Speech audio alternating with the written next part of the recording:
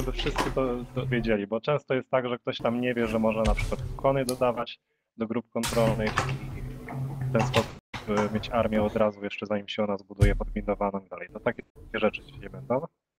Y, Chciałbym, żeby wszystkie osoby, szczególnie te z niższych lig, otworzyły sobie teraz menu i zakładkę gameplay zrobiły, otworzyli. Ja po prostu omówię te wszystkie rzeczy, które tutaj są i powiem, które warto zaznaczyć, a które nie. To jest taka podstawa. Jeśli ktoś te, tutaj nigdy nie zaglądał wcześniej i go sobie sam nie ogarnie, co tutaj warto zaznaczyć, no to niech sobie teraz otworzy, to ja to omówię. To na pewno się przyda.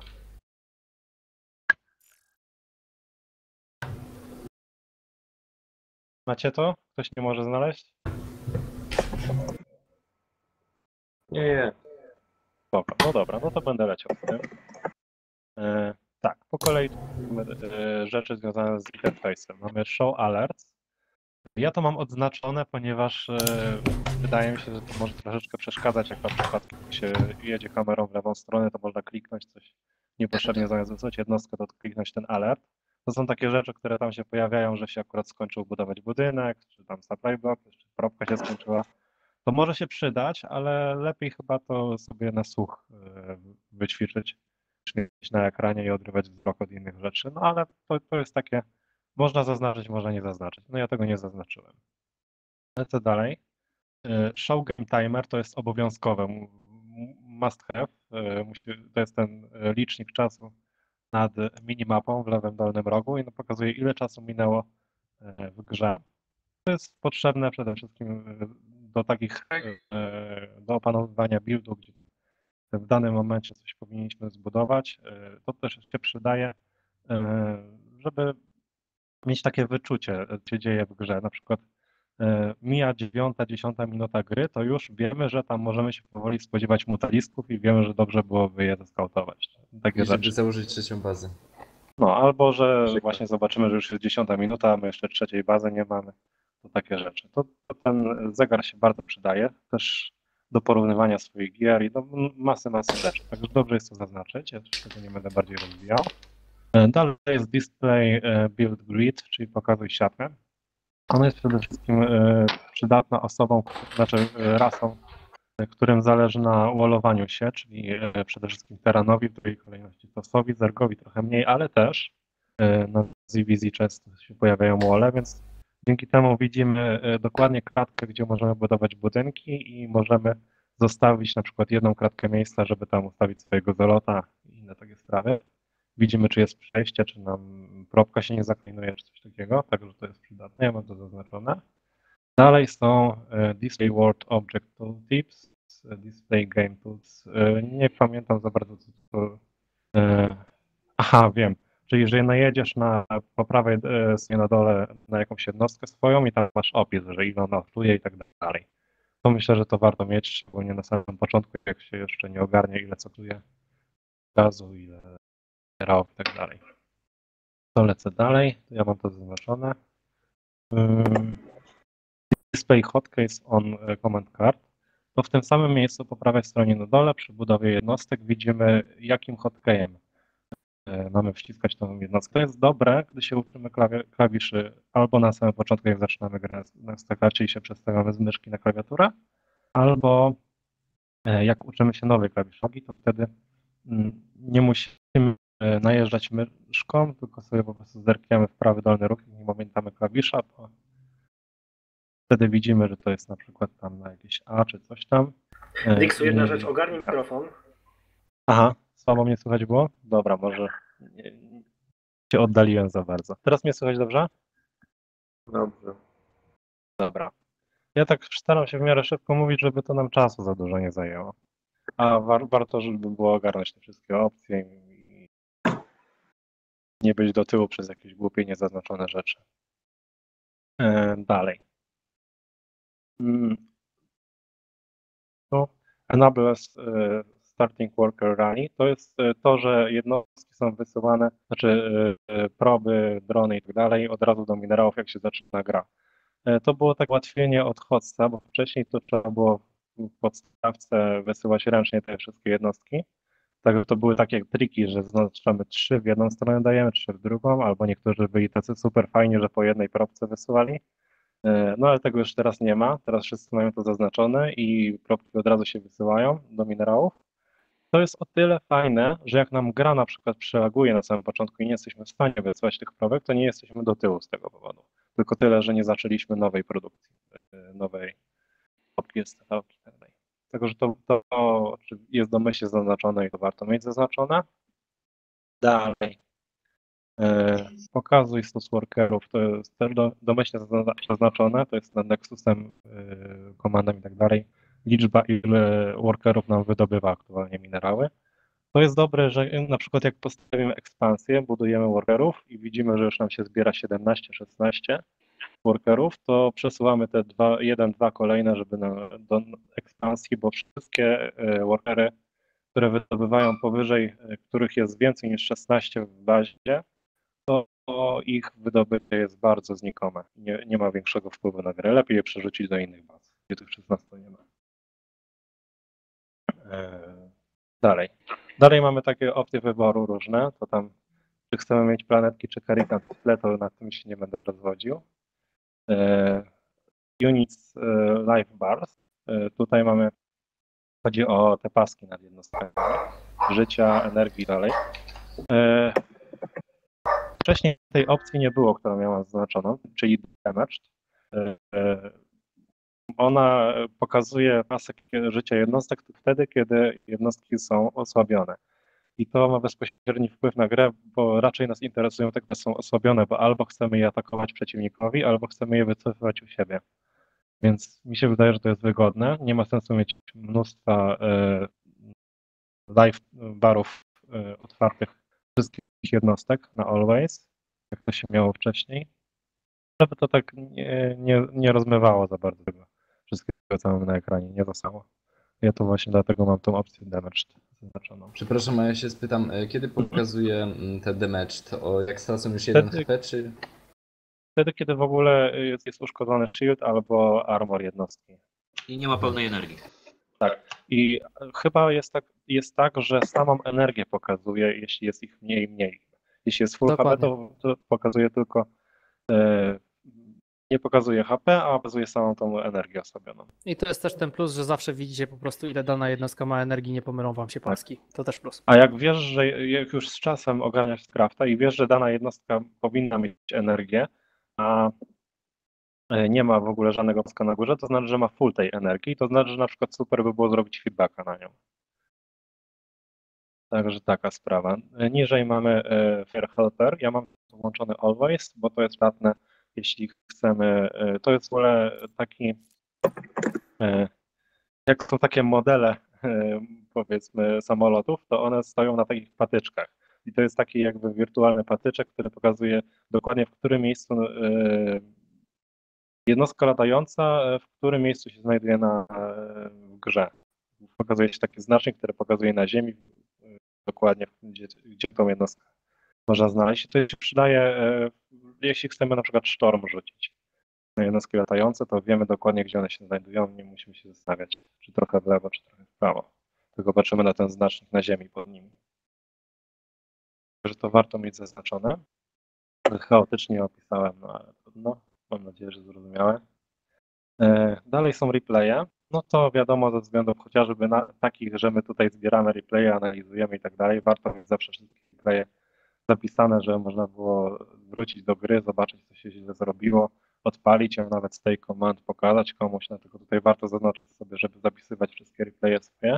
One dużo miejsca nie zajmują, e, ułamki megabajtów to tak naprawdę, więc nie ma co się martwić, że tam nam dysk wchają. E, No i tu jest opcja pokazuj czas e, w replayu, to nie jest takie istotne, ale można też sobie zaznaczyć. Teraz prawa strona. Największe zabójstwo to są te opcje ułatwiające grę początkującym, które są krzywdzące na dłuższą metę. I to jest ta pierwsza opcja Enable Simple Command Card. E, e, Ona jest domyślnie zaznaczona i myślę, że to jest wielki błąd Blizzarda, że takie rzeczy domyślnie e, zaznacza, bo jeśli to zaznaczymy, to mamy uproszczoną listę opcji dla każdych jednostek, czyli te atak, obrona i tak naprawdę tylko atak i stop jest. Nie ma na przykład hold, czyli jednostka zatrzymuje się w danym miejscu, jeśli jej się każe. I nawet jeśli widzi wroga, to do niego nie podchodzi. E, e, To jest dobre, jeśli chce e, właśnie postawić zelota na ogniu, czyli dać holda, żeby nam jakiś wall, wall, mieć. Po prostu wiadomo, zelota stawiamy blokując przejście do naszej bazy jakimś lingą i tak dalej. To, to właśnie odblokowanie, odznaczenie tego umożliwia nam użycie tych wszystkich pozostałych opcji. E, Dobra, dalej. Show current order e, initiation. Ktoś kojarzy w ogóle co to Możesz poprawić mikrofon? Słucham? Możesz poprawić Popraw mikrofon, mikrofon. bo A, znowu odleciałem. Sorry, będę mówił bezpośrednio na mikrofonu. Chyba teraz jest dobrze, nie? Tak, No. tak, teraz jest okej. Dobra, mam przy ustach teraz. E, dobra, następna opcja. Show current order indication. Ktoś kojarzy, co to, to, co to robiło? To są te No takie dobrze, linie. No, właśnie, to są takie To są linie, jakby dajesz z shiftem na przykład jakieś polecenie, nie? Aha, no to to warto mieć, bo tam widać, jak się zaznaczy jednostkę, co ona ma tam robić na, na replayu. To ja to mam zaznaczone. E, Select all larva. Ja mam tego nie zaznaczone. Nie gram z ergiem, więc też mnie za bardzo to opcja nie interesuje. Ktoś y, jest w stanie coś powiedzieć na ten temat? Jak klikniesz na larwę, na jedną larwę, to ci wybierze wszystkie larwy. Aha, To czyli myślę, że to jest kiepska opcja, Odna- bo czasem chcemy jedną, nie? Tak. Tak, także to, to dobrze, że nie mam zaznaczone. Dalej. Nie wiem, ja to mam zaznaczone i nie wyobrażam sobie bez tego. No jak Tak? bierzesz znaczy- zerga i chcesz zaspamować swojego przeciwnika jednostkami, klikając tylko i wyłącznie Z, to lepiej jest mimo wszystko mieć to zaznaczone, bo klikasz tylko S, trzymasz Mhm. Z i to jest wszystko. A tak byś musiał cały czas SZ klikać. No ale przecież Nie, to nie jest- nie, nie, nie wszystkie tak działa. haciarki zaznaczyć. To nie działa tak. To działa jak chcesz larwę wybrać myszką. Manualnie, Tak, myszką sobie leży. ten larwę, to wszystkie ci Czyli to lepiej odznaczyć. Bo teraz chcesz, la- ma jest bliżej larwa, nie? Znaczy moje zdanie jest takie, ja się przyzwyczaiłem do tego, że jak zaznaczyć wszystkie jednostki danego typu, to klik kontrol. Nie potrzebuję żadnego dokładnie. ułatwienia do tego. Więc y, jak ktoś się przyzwyczaił, że nie musi tego kontrola przy, trzymać przy larwach, to okej. No to, to nie jest jakaś super istotna opcja, także to jak kto woli, może sobie znaczyć. Fiksu, kończ powoli, bo już y, można w zasadzie To dobra. zaczynać. To przelecimy do końca te opcje i ten, ten mój, y, ten replay zostawimy na później, będziemy lecieć z turniejem na następny wtorek. Także dokończę te opcje. E, Display Experience Points to jest taki duperel, e, który się nawet może fa- wydawać fajny, jak się zbiera tego expa, ale potem warto go odznaczyć, jak już się ma full, bo ten exp już nam nic nie daje. I... Pokazywanie Właśnie nie, Dix, ja to się nie zgodzę, To bo daje. na przykład progamerzy mają coś takiego, że na przykład dajmy na to Oracle ci ucieka, nie? I gonią Mhm. na trzech stalkerów i ty Oracle znika i nie wiesz, czy ona padła.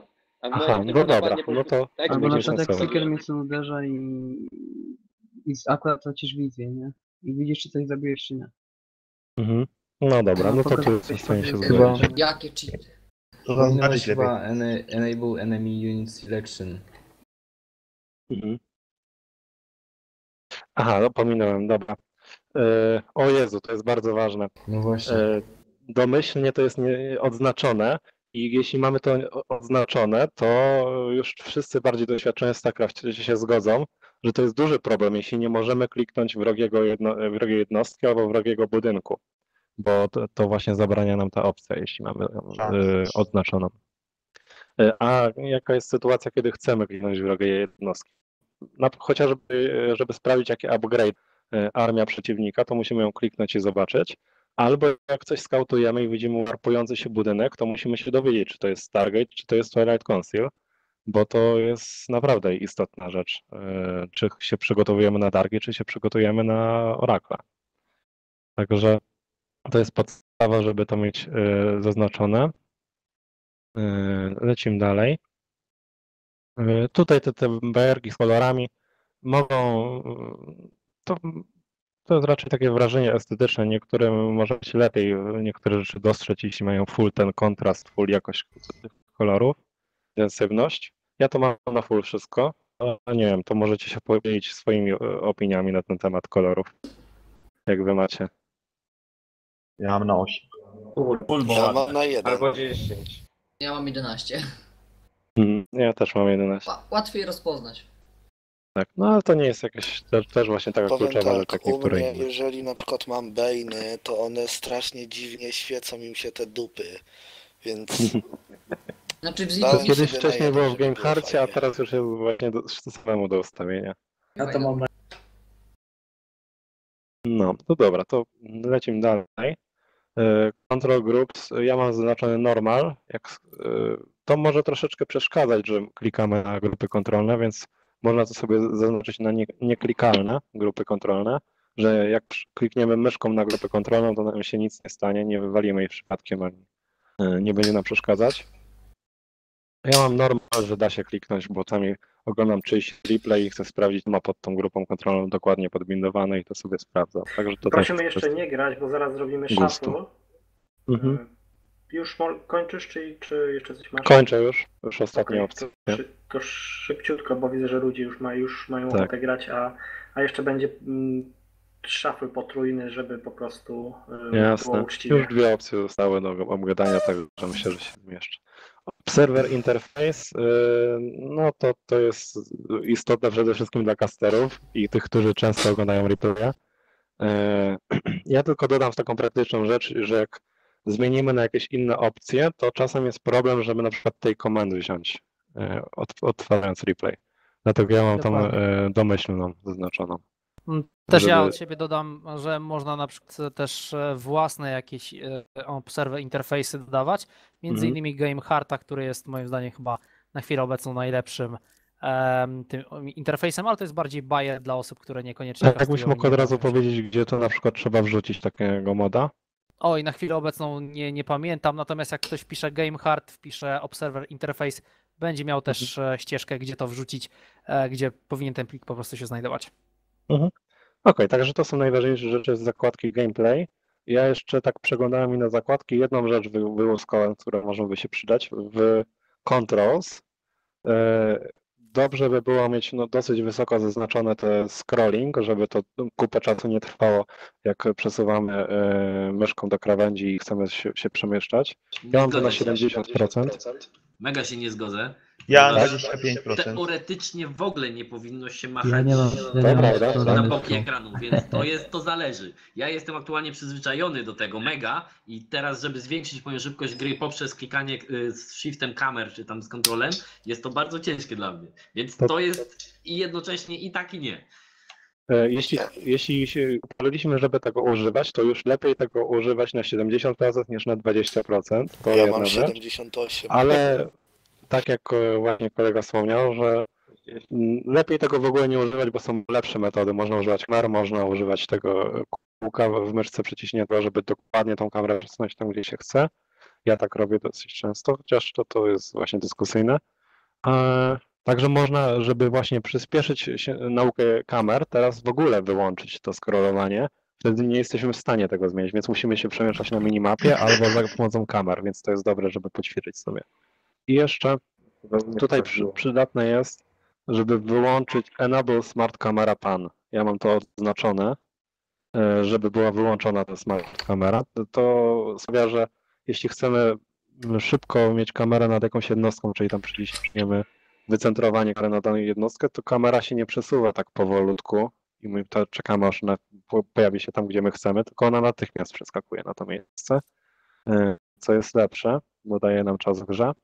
I to jest przydatne przy ustawieniu kamer nad Nexusami, nad e, bazami, żeby mieć dokładnie na środku kamerę, e, gdy ją bindujemy, pozycję kamery. No i to będzie tyle, jeśli chodzi o to moje omówienie opcji. Mam nadzieję, że ktoś chociaż coś na tym skorzystał i coś to sobie zmienił, jeśli tutaj nie zaglądał. A A ja jak mam nie, no to takie- dobrze, bo wszyscy ogarniacie. jedno. Mhm. Mam jeszcze takie pytanie odnośnie tego e, drag scroll, czyli tego przesuwania ekranu z wciśniętym e, kółkiem. Jakie Mhm. są tego minusy? Bo tak naprawdę ja u siebie zupełnie wyłączyłem te Są minusy, tak. E, I, jakie są? Bo mi tak naprawdę jest dużo wygodniej. W ogóle wyłączyłem to przesuwanie za pomocą krawędzi ekranu, bo po prostu tą myszką i, i, i kółkiem to jakoś no, dużo lepiej mi się to używa. Mhm. Czyli ty tego używasz, tak? Wyłączyłeś to normalne, tak? Dokładnie tak, dokładnie tak. E, No, plus jest taki, że nie musisz tej e, myszki przesuwać do krawędzi i jest, i to jest jeden plus. Drugi plus jest taki, że to jest e, dokładniejsze. Nie jest tak, że przesuniesz sobie za daleko, przesuniesz sobie za słabo. Nie jest tak, że musisz to poprawić, przesuwając jeszcze w górę zamiast w prawą stronę. To tak jest duży plus, to jest właśnie główna zaleta, Ja powiem, ja tego powiem, używam. jeszcze jedną rzecz, że ja dodałem generalnie. Ja, ja to robiłem w ten sposób, że po prostu wyłączyłem y, całą w ogóle przewijanie y, myszą y, ekranu przez jakiś czas, y, bo miałem problem z tym, że po prostu No, ja nie klikałem na minimapie i nie używałem hotkeyów. Mm, To jest dobry tym- sposób, żeby się przestawić w ogóle na używanie kamer i Tak, minimapy. ale po pewnym czasie to wyłączyłem, bo to chodzi generalnie Tak. tylko o to, żeby uderzać w te belki, a nie, a nie żeby y, przemieszczać się z jednego końca mapy na wrac- drugi. No dobrze, myślę, że. Jeszcze myślę, nie skończyłem odpowiadać na pytanie. Ci. E, Jeszcze wracając do tego, tego scrolla, e, to ja powiedziałem plusy. Minusy są takie, że e, i tak, mm, gdy przemieszczamy się tą kamerą, to blokujemy naszą myszkę i nie możemy mikrować.